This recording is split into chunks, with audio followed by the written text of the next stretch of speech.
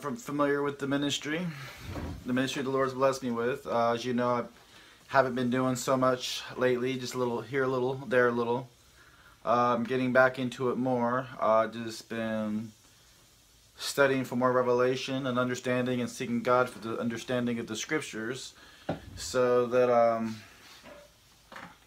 so that um, when I speak, it's more Him, the Spirit of truth, speaking in me and through me. Um, one thing I've learned about the Bible is that it's God's opinion. Revelation knowledge is God's opinion. It's God's revelation. It's God's word concerning whatever it is that we're studying on. I believe that the scriptures, the Holy Bible, is written by prophets as they were moved by the Spirit of God. So, um, I've um, got I've got a teaching on the race on earth before Adam, and uh, it's word for word in the Bible. Know a lot of you don't are not familiar with that. And the old uh, back in the back in the old days, the old school way was uh, the pre-Adamic race. I originally did that teaching with that title. It got hardly any views. The Lord told me it wasn't that it was just bad or people didn't believe. It was just that they don't understand that title. So I changed it to the pre-Adamic, uh, what did I change it to? The Race on Earth Before Adam. I got all kinds of views on there. People wanted me to do a second one, so I did.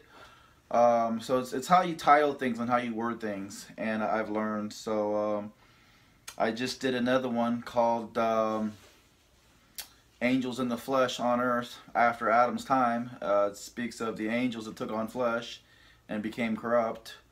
You know, uh, these are just things that pastors don't teach over the years. Pastors just, uh, there are very few that do. Uh, they used to teach it more uh, back in the day, um, years ago. And uh, we just have to keep up these doctrines. We have a lot of great men of the faith who are passing away and are no longer with us anymore who used to teach these things. And if we don't have anyone to carry on the oracles of God, you know, we have to make sure that the, these teachings and the proof, the scripture proof, and the revelation stays alive, especially in these last days. And also, I've been studying the end time, the Book of Revelation, when all uh, all the all the events that take place, which we are now living in. So I've been doing a lot of videos on that too. I've got a video on angels too that I'm going to redo. Um, so, but one of the things I wanted to talk about was um, this. This question's uh, frequently asked often you know, why didn't God destroy the devil? You know, when the devil fell from heaven, why didn't he just destroy them all together, leave them in hell in the bottomless pit forever? You know, don't let them tempt Adam and Eve, just let them be. Okay, and uh, why does God, and another one is, on top of that, why does God allow the devil to bring so much evil and corruption, and why does God allow bad things to happen? Um, so many questions out there, and I believe the Lord has given me some answers. Um, you know, when you think about it, that when God created all the angels, um, it's, it's, obvious that God created angels before man. Uh, and Psalms mentions how the angels shouted for joy uh, at the foundation of the earth when God created everything.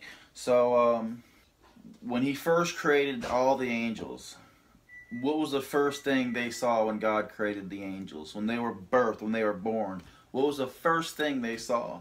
was God, the face of God. They were born to worship God. They were, so to speak, almost programmed, so to speak, to worship God.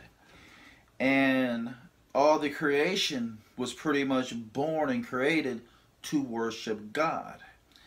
Um, without any free will as far as a decision to do the opposite. They were just born doing it. That's all they knew to do cry holy, holy, holy 24-7 as found in the book of Revelation. Lucifer fell because of his pride and jealous and um, I've got another teaching that I'm coming out with that talks about the stones that Lucifer had in his chest. If you read Ezekiel 28 where it talks about thou hast been placed in Eden, meaning Lucifer, uh, as an as the anointed cherub that covered the whole garden, it talks about the stones, the, the the, he was a priest. He had a priestly uh, breastplate on with nine stones, which represents the nine tribes that he led into worship. Okay, And then it talks about him walking up and down in the midst of the stones of fire. I'm doing a video that's going to break down what I believe those stones are. And I've been it's been a tough one, but I've been really praying and really asking God and he showed me what those stones are.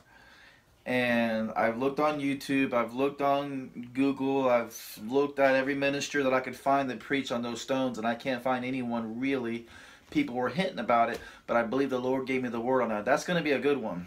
Got to get that one, man. I, I gotta I gotta get together on that one and do that video. But um, Lucifer fell, and I believe that Adam and Eve, us, so to speak, and a uh, as as as humanity was created as Lucifer and his original inhabitants, his followers we are his replacements. Okay, Lucifer fell.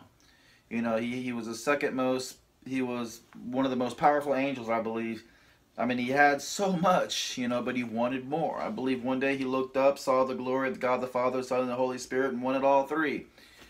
And God throws him out of heaven, creates Adam and Eve, and not only in his image, but in his likeness, and gives them the glory of the Father, the Son, and the Holy Spirit. And I believe that angels don't possess the Spirit of God or the glory of God's presence like we do. Um, the way that we're called to walk in that image is much differently, you know.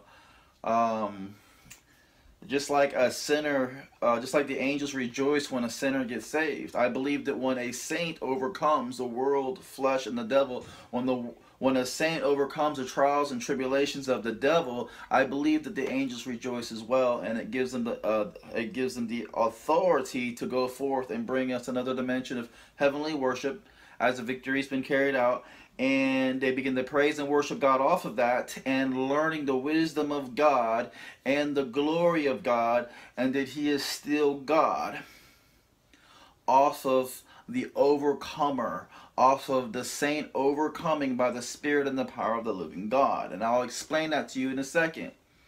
Like I back to what I was saying earlier. Every angel was created to worship God. And this is another reason why I don't think God made a big deal about it when Satan and a third of the angels fell. Because, you see, when Satan fell and his angels they made a those the third of those angels made a conscious decision for the first time not to worship God. And the rest of the angels made a conscious decision decision for the first time that they're going to worship God. Okay? So now you have all of heaven that didn't fall with Lucifer and a third of his angels worshiping God, not because they were created to worship God or they were programmed to worship God. Now that that day true worship was birthed. That day angels were truly assigned and set for glory and trusted with more uh, greater heavenly altitude in my opinion. Now I can't prove all this scripture, but I believe this is most of it's my opinion and a lot of it, you know, could be in part of the opinion revelation. I believe it is. It's my opinion. I report, you decide. So here God creates a man, a mud man, a man out of the dust, breathes upon him, and God creates a living soul, Adam, Eve, or the body of Adam, however you, some, however some believe. I've got another teaching on that. That's just like, wow, and it's in the Bible. Um, that Adam and Eve God created Adam as his replacement, as Lucifer's replacement worship leader. And and the reason why I say that is because if you think about it, like I said, angels were originally created to worship God. This is why God, uh, this is going to reveal why God didn't just destroy the devil. Okay, I believe that the real way of destroying the devil and creating sons and God in the process was proving to the devil that God is still God and that the devil will never be able to catch God in a lie because that's Satan's always wanted to catch God in a lie because then he would cease to being God and he would overtake the throne. So, uh, so that God creates a man who never seen God and who never seen him face to face. um, Scripture says that no uh, no man can, has seen God and lived. I'm not 100% sure and who exactly he saw walking in the garden in the cool of the day. I'm not 100% sure. But anyways, my point is God created man who is now born and now shapen in iniquity. We are born in sin and we are shapen in iniquity. You see? We don't see God. We wasn't born seeing God. We wasn't you and I wasn't born worshiping God. But yet blessed are those who believe and have not seen, because that is true worship right there. So God cast the devil out of heaven said, all right, I'm going to create man in my image and after my likeness. And there's going to be a many, and yeah, you're going to you're going to trip him up, but there's going to be many coming after him who's going to worship a God they've never seen before, you see? You know, that's true worship. Not because they were born to worship God. After all, they were born shaped in iniquity, but they will worship me, you know, a God they've never seen. Now that's true worship. Okay? And God is displaying that He is still God over His people. His prophecies will still come to pass. The 144,000 will still come to pass and, and ruin the peace pact of the Antichrist, causing the devil to lose that great battle, which he's already lost already. Okay? That I believe that. Um, so what happens is, you know, if you look at Job, you know, for an example, a man who was also born, shaped in iniquity, like everyone else. Of course, he was one of the most righteous men found in his day. Comes along, the devil's going around to and fro. If you read Job chapter 1, going around to and fro. Whence cometh thou? He said, walking to and fro, up and down on the earth and in it, up and down on it and in it so God kind of helps them out. We like to say that you know the devil had to ask for permission. I believe that, but if you read this, if you read the scripture in Job chapter one, God actually sees the devil going, looking whom he may devour, and helps him out and says, "Well, hey, have you considered my servant Job?"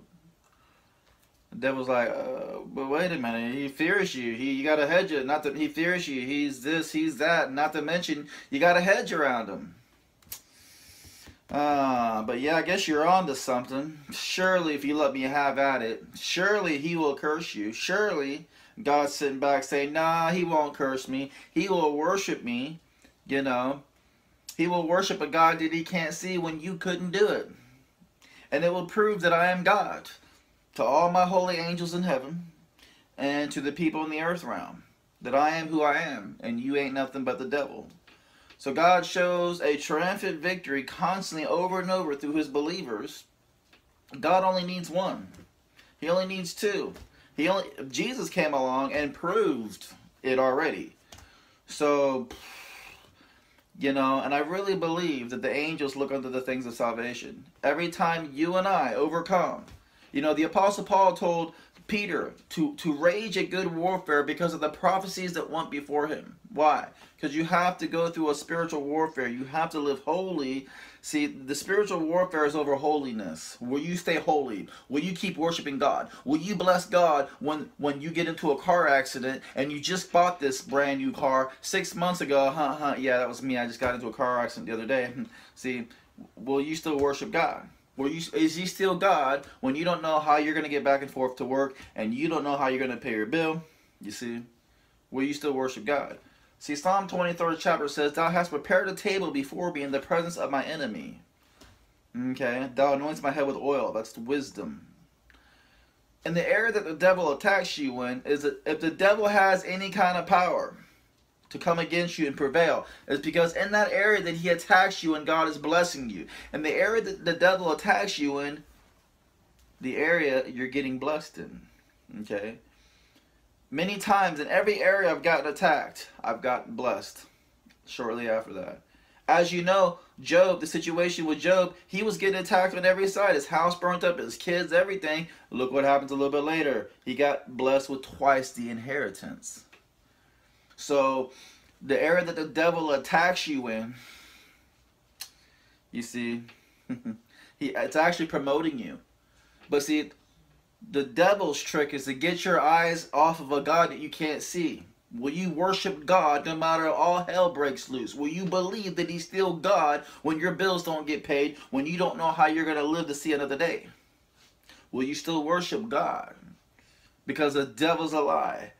And God is still faithful. I've never seen the righteous forsaken nor seed begging bread. See, this is why God won't destroy the devil because he needs to use him as a tool to refine you to show that he is still God and the devil's a liar. The devil's losing the battle every time a saint. All God needed was one, and that was Jesus Christ. and on the day of Pentecost, suddenly there was 12 of them. and now today there are millions all over the face of the earth. Oh, Jesus. My goodness, the Bible said they overcome him by the by the blood of the Lamb and the word of their testimony.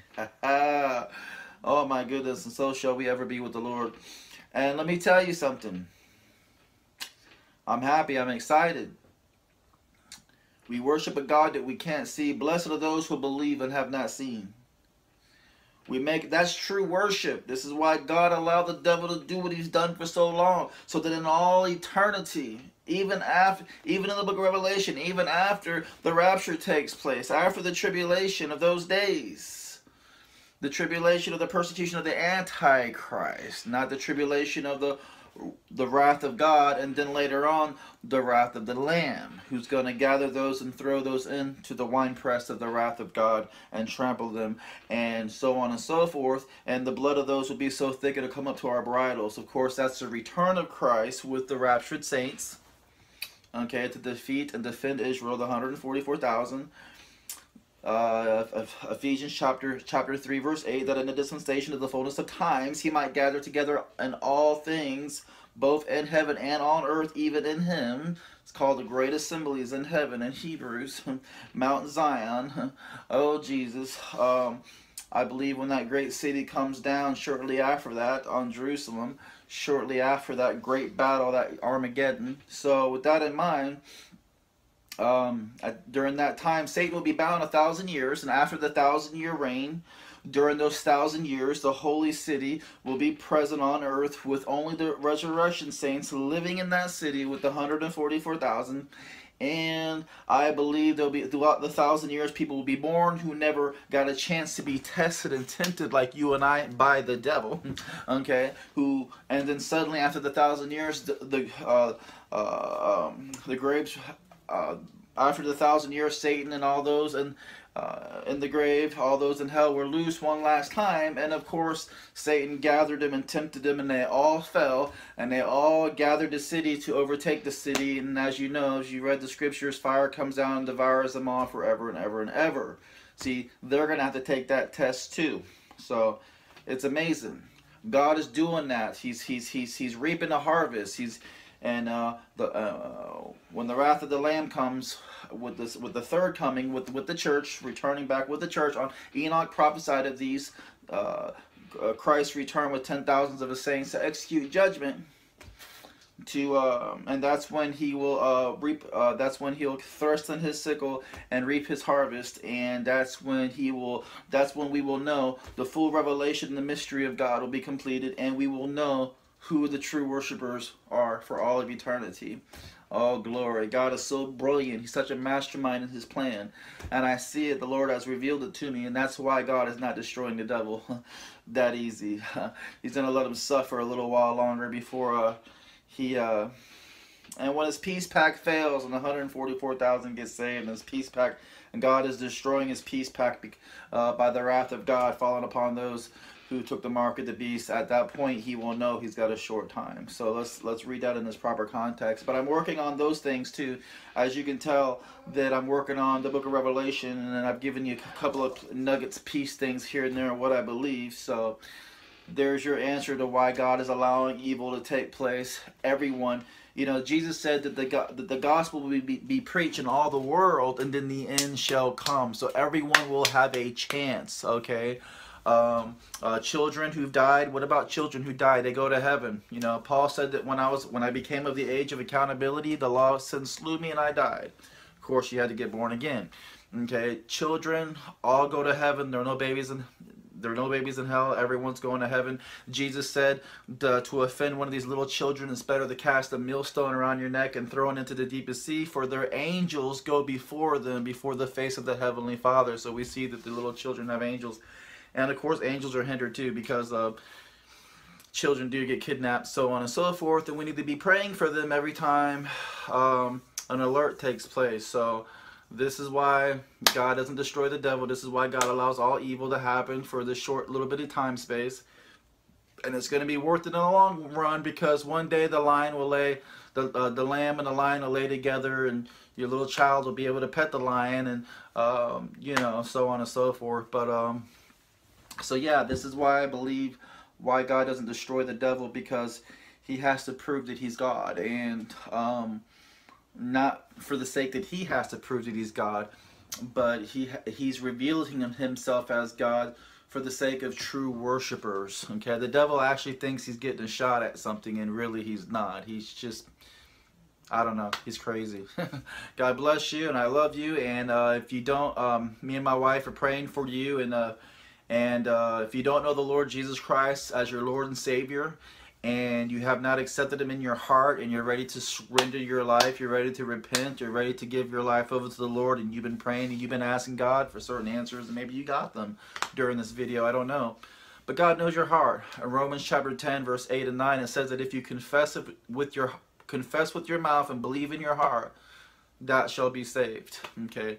So just pray with me right here. Just follow me right now in this prayer. Father God,